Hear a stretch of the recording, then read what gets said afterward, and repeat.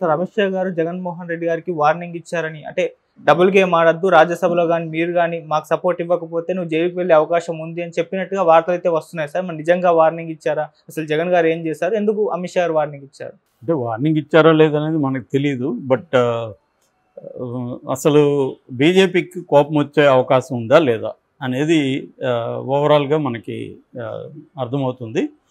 మామూలుగా అయితే జగన్ కొంతవరకు బీజేపీ మీద ప్రెజర్ అయితే తీసుకొస్తున్నాడు. ఢిల్లీలో మొన్న పెట్టడంలో ఉద్దేశం అదే క్లియర్గా. లేకపోతే ఇప్పుడేదో నిజంగానే అంత ఘోరమైన పరిస్థితి ఆంధ్రప్రదేశ్లో ఉందంటే అంత ఘోరమైన పరిస్థితి ఏం లేదు. ఖచ్చితంగా దాడులు అయితే కొంతవరకు జరుగుతున్నాయి. అక్కడ హత్య కూడా అదేదో తెలుగుదేశం సెంట్రల్ కమిటీ ప్లాన్ చేసింది కాదు. అక్కడ కక్షలు ఉన్నాయి. అతను వైసీపీ అతను చనిపోయింది చంపిన తెలుగుదేశం అతనే. ఒకప్పుడు వాళ్ళిద్దరు ఒకే పార్టీలో ఉన్నారు. వ్యక్తిగత కక్షలు రాజకీయ కక్షలు అనేవి మిక్స్ అయిపోయి ఉంటాయి అదేం సపరేట్గా ఉండవు. మనకి రాయలసీమలో కూడా గతంలో ఫ్యాక్షన్ అంటే రెండు విలేజ్లు ఒక విలేజ్లో రెండు ఫ్యాక్షన్స్ రెండు పార్టీల్లో ఉంటాయి. అది ఇంకా సపరేట్గా వేరే ఉండదు. పార్టీ లైఫ్ వ్యక్తిగత లైఫ్ అనేది సపరేట్గా ఉండవు. అలాగే అయిపోతుంది కాబట్టి వాళ్ళు మాట్లాడుతుండ్రు. కానీ దాన్ని నేషనల్ లెవెల్లో ఇప్పుడు ఇప్పటికిప్పుడు ప్రొజెక్ట్ చేయాల్సిన అవసరం జగన్కి ఏమొచ్చింది అన్నప్పుడు ఒక పాజిబుల్ ఎక్స్ప్లెనేషన్ ఏముంటే జగన్ బీజేపీకి మద్దతు ఇస్తున్నాడు ఇప్పటికి కూడా. బీజేపీ కూడా తీసుకుంటుంది. మొన్న కూడా స్పీకర్ ఎన్నికల్లో బీజేపీని అడిగింది మద్దతు ఇవ్వమని. నిజానికి బీజేపీకి అవసరం లేదు. అయినా కూడా బీజేపీ అడిగింది వీళ్ళు కూడా ఇచ్చారు.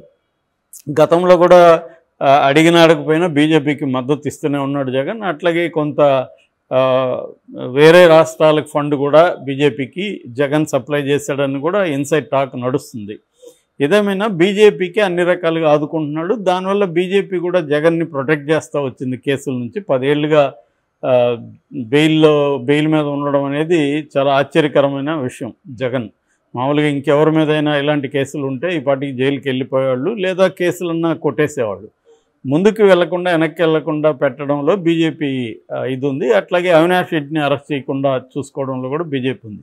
మామూలుగా సిబిఐని రాలే రానివ్వలేదు కర్నూలుకి అంటారు కానీ సిబిఐ అనుకుంటే సెంట్రల్ ఫోర్స్ని దించవచ్చు పోలీసులు లోకల్ పోలీసులు ఏం చేస్తారు? సిబిఐ అరెస్ట్ చేయాలనుకుంటే అడ్డుకోలేరు. సో క్లియర్గా ఏంటంటే సిబిఐ కూడా ఒక డ్రామాకి వంతపడినట్టే మనకు ఉంది వాళ్ళు. లేకపోతే సిబిఐ ఫెయిల్ అవ్వడం ఏంటి? సిబిఐ ఒక వ్యక్తిని అరెస్ట్ చేసే సి సీఎంఎల్ని అరెస్ట్ చేస్తుంది కదా సిట్టింగ్ సీఎంఎల్ని అరెస్ట్ చేసినప్పుడు ఒక ఎంపీని అరెస్ట్ చేయలేదు సిబిఐ? కాబట్టి ఏంటంటే క్లియర్గా బీజేపీ ఇప్పటివరకు సపోర్ట్ చేసింది. ఇప్పుడు బీజేపీ జగన్ని పక్కన పెట్టేసింది. బీజేపీ రాజకీయ అవసరాలు ఏ పొలిటికల్ పార్టీ అయినా వాళ్ళకి రాజకీయ అవసరాలు ఇంపార్టెంట్ అధికారం ఇంపార్టెంట్ కానీ ఇక్కడేమి శాశ్వతమైన మిత్రులు శత్రువులు అట్లేమి ఉండదు. సో నిన్నటి వరకు జగన్ మిత్రుడు చంద్రబాబు శత్రువు ఈరోజు జగన్ శత్రువు చంద్రబాబు మిత్రుడు. జగన్ శత్రువు కాకపోయినా మిత్రుడైతే కాదు. సో దానివల్ల జగన్కి ఇప్పుడు ఏంటంటే భరోసా ఇస్తున్నట్లు లేదు అక్కడ.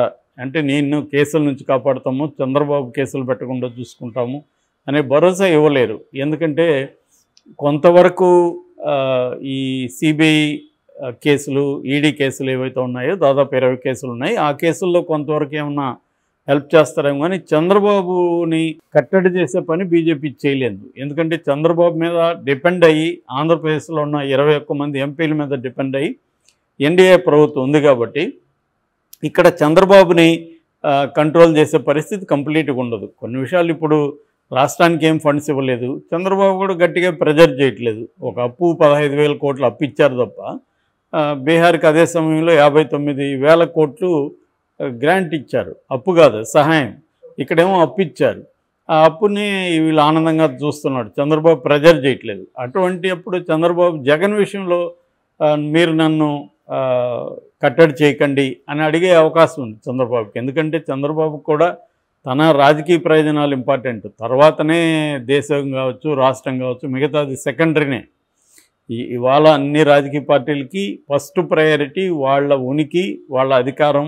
దాని తర్వాతనే రాష్ట్రం గురించో ఇంకో దాని గురించి ఆలోచిస్తారు. చంద్రబాబు కూడా అదే ఆలోచిస్తాడు. చంద్రబాబు ఎవరికైనా కూడా ఇమీడియట్ ప్రయోజనాలు దీర్ఘకాలిక ప్రయోజనాలు ఉంటాయి. ఇమీడియట్ ప్రయోజనాలు చంద్రబాబుకి ఏంది? జగన్ పార్టీని మ్యాక్సిమం తొక్కేసేయాలి.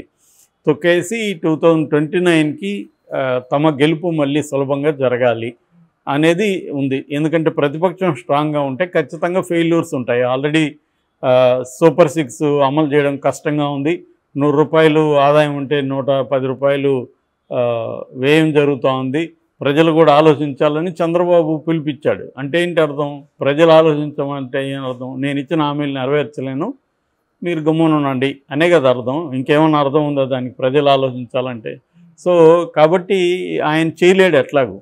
చేయలేడని ఆయన ముందే తెలుసు. దాన్ని ఇప్పుడు మెల్లమెల్లగా చేయలేమనే విషయాల్ని రకరకాల పద్ధతుల్లో చెప్తున్నారు సో దీనికి వ్యతిరేకంగా ప్రజా ఉద్యమం ఖచ్చితంగా ప్రజల్లో ఆగ్రహం వస్తుంది. నమ్మించి మోసం చేశారన్న ఫీలింగ్ వస్తుంది. సో వచ్చినప్పుడు జగన్ దీన్ని ఉపయోగించుకొని ఒక ప్రజా ఉద్యమాన్ని నిర్మించగలిగితే అప్పుడు మళ్ళీ చంద్రబాబు కోటమి తప్పదు. సో అందుకని జగన్ జైల్లో ఉన్నాడు అనుకో ప్రతిపక్షం ఏమి ఉండదు. ఎట్లాగో షర్మిల జగన్కి వ్యతిరేకంగా ఉంటుంది కాబట్టి చంద్రబాబుకి యాంటీగా ఆమె ప్రజా ఉద్యమాలు నిర్మించదు. మా అంటే కొంత పవన్ కళ్యాణ్ డ్రామాలు ఆడినట్టుగా ఈమె కూడా డ్రామాలు ఆడి విజువల్స్ అవి వస్తాయి తప్ప గట్టిగా స్ట్రాంగ్గా చంద్రబాబుకి యాంటీగా ఆమె ఉండదు. సిపిఐ సిపిఎం వాళ్ళు ఎట్లాగో తోక పార్టీలు అయిపోయి కాలం అయింది. కాబట్టి ఇంకెవరు ఉండరు చంద్రబాబుకి. సో జ అది చంద్రబాబుకు ఉండే ప్లాను. సో ఈ ప్లాన్లో భాగంగా జగన్ ఏం చేయాలి ఇప్పుడు? జగన్ జైలుకు పోకుండా ఉండాలంటే ఒకటి ఎలాగో జైలుకు పోతాం అనుకున్నప్పుడు బీజేపీతో ఎందుకు ఉండాలి?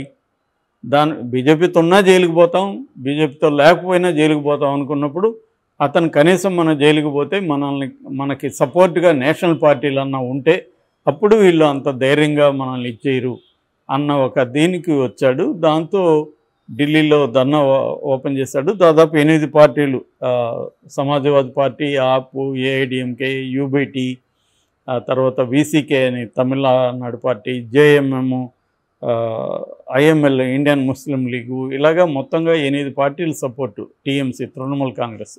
ఎనిమిది పార్టీల సపోర్ట్ అతనికి అక్కడ దొరికింది.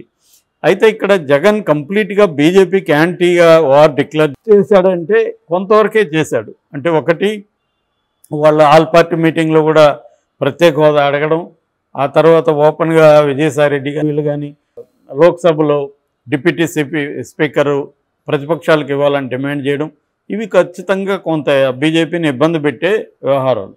అయితే ఎక్కడ మోడీకి వ్యతిరేకంగా మాట్లాడలేదు జగన్ మాట్లాడలేదు మిగతా నాయకులు కూడా మోడీకి వ్యతిరేకంగా గట్టిగా ఏం మాట్లాడలేదు. సో జగన్ కూడా ఎక్కడ మోడీ ప్రభుత్వాన్ని మోడీని నిందించట్లేదు చంద్రబాబు ప్రభుత్వాన్ని నిందిస్తున్నాడు. చంద్రబాబు ప్రభుత్వం అంటే ఇక్కడ ఎన్డీఏ ప్రభుత్వం. నిజానికి ఇండైరెక్ట్గా మోడీని విమర్శించినట్టే. కానీ డైరెక్ట్గా ఎక్కడ జగన్ విమర్శించలేదో విమర్శించలేదు. ఆ జాగ్రత్తలు తీసుకున్నాడు. అట్లాగే జగన్ ఈ ఇండియా కూటమిలో చేరుతాడనే దగ్గర ఏమీ సిగ్నల్స్ ఇవ్వట్లేదు. నిన్న కూడా జగన్ ప్రెస్ మీట్లో ఏం చెప్పాడు? కాంగ్రెస్ తెలుగుదేశంతో ఎందుకు చంద్రబాబు ఎందుకు రాహుల్ గాంధీతో టచ్లో ఉన్నాడు? ఒక మణిపూర్ని ఖండించిన వాళ్ళు ఇక్కడ ఎందుకు ఖండించలేదు? మేము బీజేపీని కాంగ్రెస్ని కూడా ఆహ్వానించాం. కాంగ్రెస్ ఎందుకు రాలేదు అని ప్రశ్నిస్తున్నాడు తప్ప కాంగ్రెస్కి అనుకూలంగాను ఇండియా కూటమికి అనుకూలంగాను జగన్ మాట్లాడలేదు మేము మాకు మద్దతు ఇచ్చి అన్ని పార్టీలను పిలిచామంటున్నాడు అది వాస్తవమే. ఎందుకంటే తమిళనాడులో ఏఐడిఎంకేని ఎందుకు పిలిచాడు? అక్కడ డిఎంకే ఉంది. అక్కడ ఇండియా కూటమి అధికారంలో ఉన్నప్పుడు దానికి ప్రతిపక్షమైన ఏఐడిఎంకేని ఎందుకు పిలిచాడు? అంటే జగన్ చెప్ ఒక ప్రెజర్ అయితే పెట్టదలుచుకున్నాడు బీజేపీని. అంటే మీరు కానీ నన్ను సేవ్ చేయకపోతే నాకు ఆల్టర్నేట్ లేదు నేను ఇండియా కూటమిలోకి వెళ్ళాల్సి నా పరిస్థితి వస్తుంది. కాబట్టి మీరు మరి చెప్పండి నాకు తేల్చి చెప్పండి అని ఒక ప్రెజర్ని బిల్డప్ చేయదలుచుకున్నాడు. ఇండియా కూటమి వాళ్ళు ఎందుకు వచ్చారంటే వాళ్ళకి మోడీకి యాంటీగా ఏది జరిగినా వాళ్ళకి అవసరం. ఒక మోడీకి యాంటీగా ఉన్న ఒక దీన్ని బిల్డప్ చేయడానికి ఒక ఉద్యమాన్ని వాళ్ళు దేనైనా ఉపయోగించుకుంటారు జగన్ వస్తే వాళ్ళకి మంచిదే కదా. జగన్కి ఆల్రెడీ నలుగురు లోక్సభలో ఉన్నారు పదకొండు మంది రాజ్యసభలో ఉన్నారు. ఇండియా కూటమి బలం పెరుగుతుంది జగన్ వస్తే. కాబట్టి ఇప్పుడు జగన్ స్ట్రాటజీ ఏంటంటే తాను అరెస్ట్గా కాకుండా ఉండాలి. దానికి బీజేపీ సపోర్ట్ కావాలి.